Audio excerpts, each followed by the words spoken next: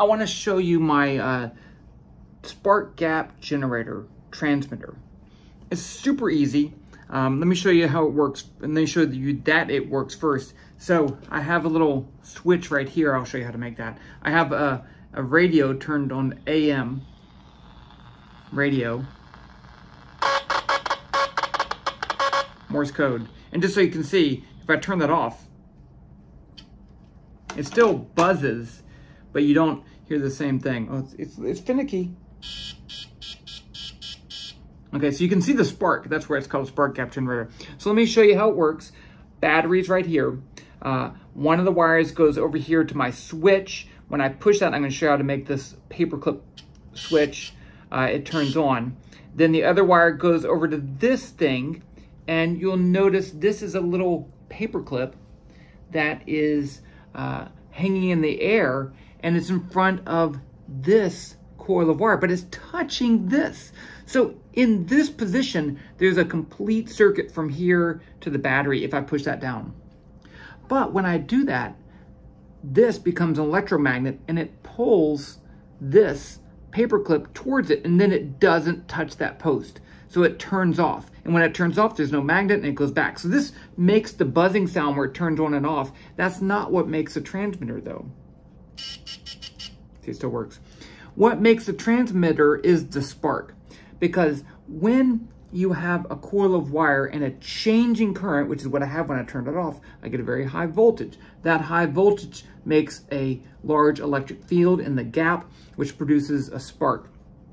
That spark is a very electrically violent event that produces both light and electromagnetic radiation on a wide range of frequencies. That's one of the bad things about a spark gap generator. So pretty easy to build. I took this coil of wire from something, but you could make one on your own, put an iron core in there to make it stronger, and then just kind of play with this until you can get this just to barely move away. It's kind of fun. It's an easy build. Now, another thing, I put this on a cork board, uh, and I use paper clips because, you know, MacGyver. And I like these metal thumbtacks because you can put a wire over the paperclip and then just push it down to connect it. And I think that's pretty awesome. Okay, so let me show you how to make this switch because there's nothing super magic about it, but there's something kind of useful. I had a piece of tape. Where did my piece of tape go? You do need a piece of tape. So the idea is how do I make these two things kind of connect? The first thing you're gonna do is to take a paper clip and bend it up like that.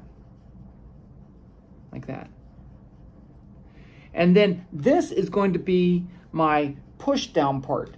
And what I want to do is when it pushes down to connect to this. So if I just put this on top of that and connect wires, then they're already touching. So I don't want them to touch. So what I'm going to do is to take a piece of tape over that and then put this other paper clip on top of the tape. And then when I push this down, it makes contact and it turns it on and off. And then I get my, my switch like I have over here, which is not working again. Something's messed up. It's, it's okay. It's not a perfect one. There you go. And there's your spark gap generator. Very cool. You gotta know Morse code though, which I don't.